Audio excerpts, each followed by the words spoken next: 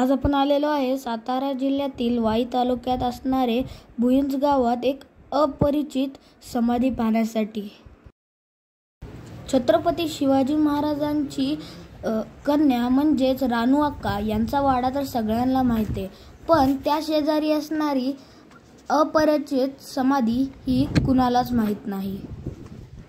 वाड्यापासून काही अंतरावर रायाजीराव जाधव व कमळाबाई यांची समाधी वास्तू आहे. ही समाधी आपल्याला सिंदखेड राजा येथील लखुजी जाधवराव यांच्या समाधीची आठवण करून देते. समाधीच्या चौथऱ्यावर चार बाजूस सिंहाच्या तोंडात हत्ती आल्याचे शिल्प कोरलेले आहे. घडीव दगडात बांधलेल्या या वास्तूवर गोलाकार घुमट बांधलेला असून भिंतीवर शरब कमळ हत्ती अशी शिल्पे कोरलेली आहेत. सध्या ही वास्तू देखरेखी उभावी ओस पडलेली असून घुमटावर झाडे उगवलेले आहेत. येथील स्थानिक लोक याला घुमट म्हणून समजतात पण हे घुमट नाहीये ही समाधी आहे. येथे संवर्धन केल्या म्हणजे साफसफाई केले तर आणि वर जे झाडं लागलेले आहेत ते कापून तर हे ज ऐतिहासिक ठेवा होऊ शकतो. म्हणजे खूप माणसं पर्यटक यायला पण पाहायला येणार. आणि तुम्ही जेव्हा रानू वाडा पाहायला येणार तेव्हा ही समाधी नक्कीच पहा. येथे पाहू शकतो आपण जी खिडकी आहे ती पण अख्ख्या दगडात अशा रॉडसारखे दगडात लावलेले आहेत. पण ते दगड आहे अख्खा. आणि आपण पाहू शकतो अख्खे शिल्पे कोरलेले आहेत. आणि हत्ती माकड वगैरे असे. आणि येथे पाहू शकतो आपण. अजून खूप सगळे शिल्पे आहेत. वर एक माकडाचा असं चित्र आहे आणि गणेशपट्टी सुद्धा आहे.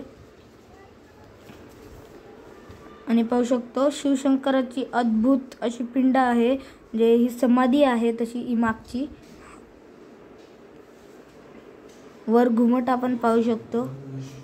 आपण समाधीच्या मागच्या साईडहून जिन्यानी जिन्याने वर जाऊ शकतात. तिथं चोर चोर वाटेगर छोटासा रोड आहे.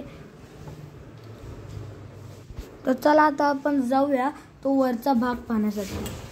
आता आपण त्या चोर वाटेवरून वर जात आहे. म्हणजे चोर वाट्यागत असणारे जाग्याबंद वर जात आहे.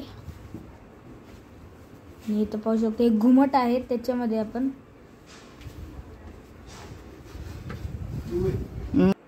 हे पाहू शकतो आपण. आलेलो आहे येथे वर वर मोठी अशी जागा आहे. आणि हे घुमट.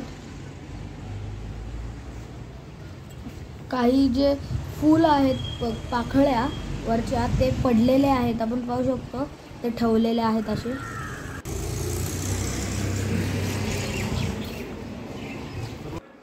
आणि ते काही काम विटांनी केलेले आहे आणि चुन्यानी विटा आणि चुन्या. मला हा व्हिडिओ कसा वाटला या व्हिडिओला लाईक करा शेअर करा कमेंट करा आमच्या चॅनलला सबस्क्राईब करा.